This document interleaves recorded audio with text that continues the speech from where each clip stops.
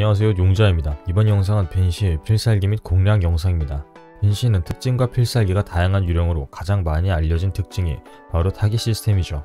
밴시의 이 타깃 시스템은 해당 게임의 로딩이 끝나자마자 게임 내 단 한 명의 유저를 타깃으로 정하는 시스템으로 밴시의 헌팅은 평균 정신력에 의하는 게 아닌 이 타깃으로 지정된 유저의 정신력에만 헌팅을 할 수 있어 평균 정신력이 아무리 높아도 타겟으로 지정된 유저의 정신력이 낮다면 헌팅을 할 수 있으며 헌팅을 시도했을 때는 이 타겟 유저만을 따라다니게 되며 주변 다른 유저들은 밴시에게 닿아도 죽지 않는 상태가 됩니다. 하지만 타겟으로 지정된 유저가 죽게 되면 그 즉시 다음 유저가 밴시의 타겟으로 지정되니 항상 조심해야 하죠. 밴시의 타겟은 쉽게 변경되지 않지만 몇 가지 경우가 있는데 밴시가 지정한 타겟이 죽으면 다른 사람으로 타겟이 변경되며 타겟이 아닌 다른 유저가 죽어도 밴시의 타겟이 변경됩니다. 타겟만 따라다니는 밴시가 다른 유저를 죽일 수 없겠지만 만약에 집안에 타겟이 없는 상태 즉 밴시의 타겟이 트럭이나 집 밖에 있는 경우 밴시는 일반 헌팅 상태가 되기 때문에 다른 유저들도 공격할 수 있는 상태가 되며 이때 타겟이 아닌 유저가 죽게 되면 타겟이 바뀌게 되는 어려운 시스템이죠.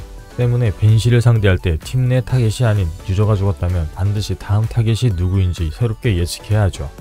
또한 밴시는 레이스나 팬텀처럼 한 명의 유저에게 무제한 로밍을 갈 수 있는데 이때도 처음 정한 타겟 유저를 따라가게 되며 레이스나 팬텀과는 다르게 오직 같은 층 내에 타겟 유저가 있는 상태에서만 장거리 타겟 로밍을 할 수 있는 유령이죠.